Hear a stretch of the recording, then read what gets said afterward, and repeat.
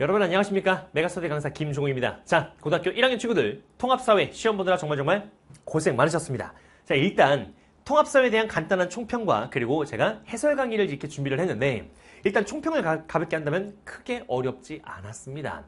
일단 단원이 4단원까지만 나오기 때문에 시험 범위가 여러분이 아마도 고1에서 이제 공부하고 있는 내신 공부에 대한 내용이 그대로 반영됐다. 이렇게 보시면 돼요. 해서 까먹기 전에 이미 모의고사가 나왔으니까 이거 충분히 활용할 수 있었을 것이다. 그래서 정답률도 보면 알겠지만 크게 어려운 문제가 보이지 않습니다. 대체로 무난하게 풀었을 걸로 보이고 지금 여러분들 입장에서는 고등학교 입학하고 나서 얼마 안 지났기 때문에 아직 내신 시험 한 번밖에 안 봤습니다. 그죠? 그러니까 여기 모의고사에 모든 것을 다 쏟아붓는 거나 붙거나 이 결과를 가지고 막 어떻게 이렇게 안 해도 돼. 안 해도 돼. 지나가는 과정 중에 하나이고 여러분이 공부했던 내용을 얼마나 내가 모의고사에서 활용하고 있는가 그런 거 점검하시면 됩니다. 아셨죠? 이렇게 마무리하고 지금부터 해설 강의 보면서 하나하나 우리 한번 봅시다. 한 문제 한 문제 안에 숨어 있는 것도 한번 보자고요. 1번입니다.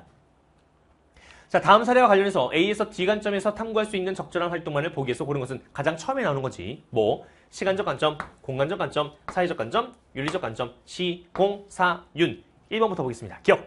자, 불꽃축제 개최에 적합한 최적의 입지. 최적의 입지. 입지 뭐야? 공간이잖아, 공간. 정답은 B가 돼야겠죠. 니은. 불꽃축제에 따른 오염물질의 연도별, 연도별, 시간의 흐름에 나왔습니다. 그럼 뭐야?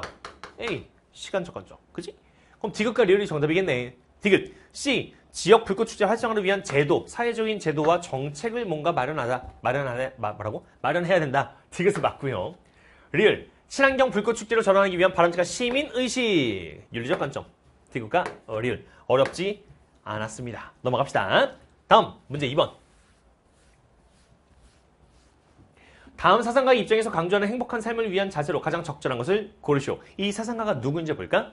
가장 적은 양을 필요로 하는 사람이 사치에 가장 큰 기쁨을 느낀다. 아니, 굳이 그렇게까지 필요한 게 없는 사람도 왜 이렇게 사치를 부려? 이런 뜻이야. 자, 그래서 결핍 때문에 생기는 고통이 제거된다면 단순한 음식도 우리에게 사치스러운 음식과 같은 쾌락을 준다. 아, 쾌락을 주는구나. 그러므로 쾌락은 몸의 고통이나 마음의 혼란으로부터의 자유이다. 쾌락을 추구하는 겁니다. 몸의 고통이나 마음의 혼란으로부터 이제 벗어나자는 거지. 이거 에피쿠로스 학파야. 에피쿠로스의 주장이죠. 헬레니즘 문화 때 나왔던 에피쿠로스. 자, 헬레니즘 철학인데 1번 음, 정신적 쾌락보다 육체적 쾌락 아, 아니에요. 이 여기서 얘기하는 이 쾌락이 그 정신적인 만족감 이런 거 얘기하는 겁니다. 제가 어릴 때는 쾌락주의란 말을 많이 썼다고 실제로 쾌락주의.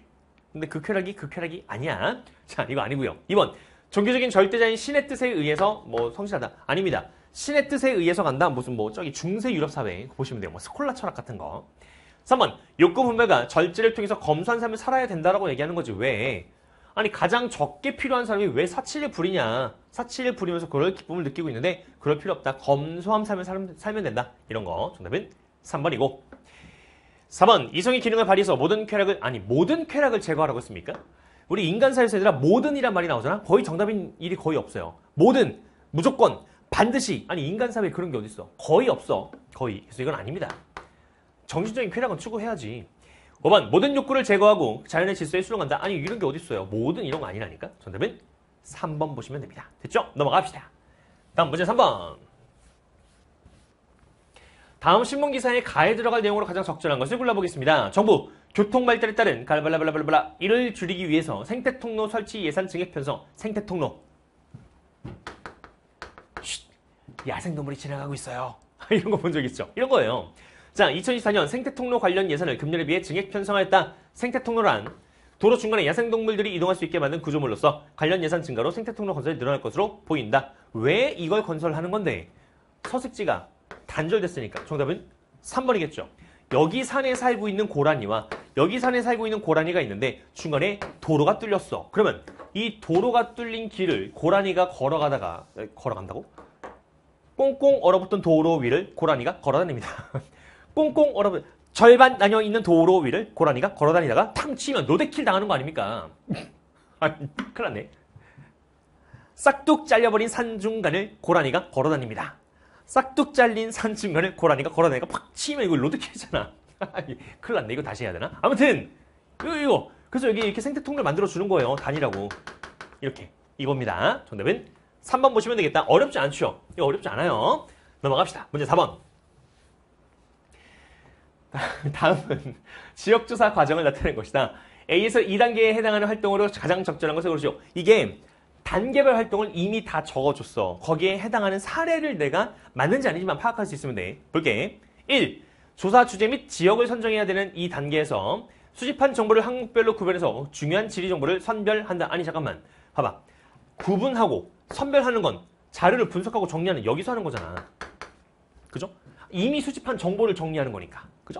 땡. 다음 2번. B. 인터넷을 활용해서 땡땡시의 인구 통계 자료를 조사한다. 자, 봐봐. 인터넷을 활용하니까 실내에서 하는 거죠? 맞습니다. 정답은 2번이에요. 2번. 3번. C. 땡땡시의 출생자 수 변화를 통계 지도와 도표로 표현한다. 아니, 봐봐. 그래프 및 주제도 작성. 주제도 된 그림을 작성한다. 그래프 작성한다. 어딨어? 지도와 표로 표현한다. 이거는 어디가 돼야 돼? 2가 돼야겠지. 4번. 땡땡 시청 인구 정책과를 방문해서 담당자, 담당자랑 면담한다. 야외조사.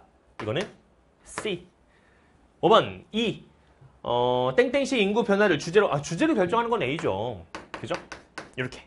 할 수 있어. 어렵지 않아. 정답률 봐봐. 어렵지 않아. 됐어. 다음. 문제 5번.